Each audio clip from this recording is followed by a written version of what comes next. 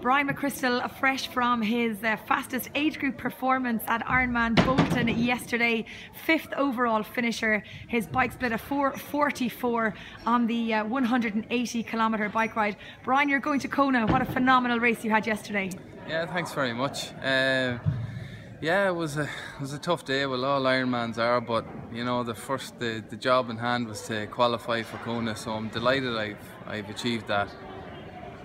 Did you think coming into the race uh, yesterday morning that you would have such a superb uh, performance on the bike?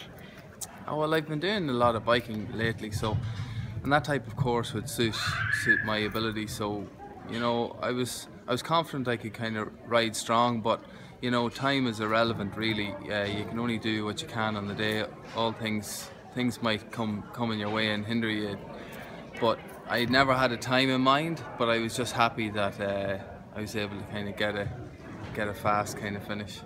Uh, did you have any idea um, that you were doing so well on the bike um, with the rolling start? Because you would have sta started well behind the pro athletes, yet you were featuring on the leaderboard for most of the day.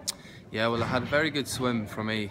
Um, it's the first time I've gone under an hour in the swim, Ironman swim, and I, I, I knew I was there thereabouts um, from the from getting getting on the bike and catching it. There wasn't wasn't too many athletes on the road, and I knew one or two of the lads, Irish guys, at fast swimmers, and they told me that there was only a few up the road. So, but I made my way through all the pros and um, kind of biked through them, uh, and yeah, I knew I was in the round and I knew I had the five minutes, but I didn't get carried away. You can only look at the times and that after races.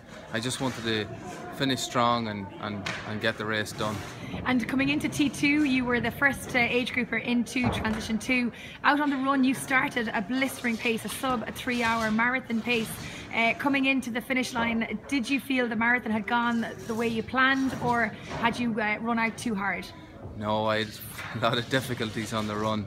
Um, I had, a problem on the bike where I lost a nutritional bottle and uh, I definitely suffered from uh, lack of calories and I was I was struggling from from definitely kilometer 10 onwards and, and it was a matter of was, I needed too much too many calories at the aid stations on the run but you know that happens in Ironman that these things challenge us so it wasn't the it wasn't the worst run in, in the world but you know I'll, I'll take that after after yesterday so uh, coming into the race, uh, the plan was to qualify for Kona, and I know you've just accepted your slot. So uh, race preparation will start uh, later this week, I imagine. Well, a few days off. Uh, definitely nothing done uh, for the rest of the week.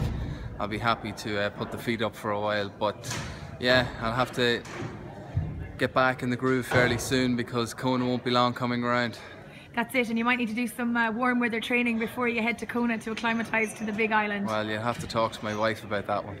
Bryan, congratulations. Pleasure to call you down the finish line yesterday yeah. and uh, wish you the best of luck in Kona 2016. Thank you very much.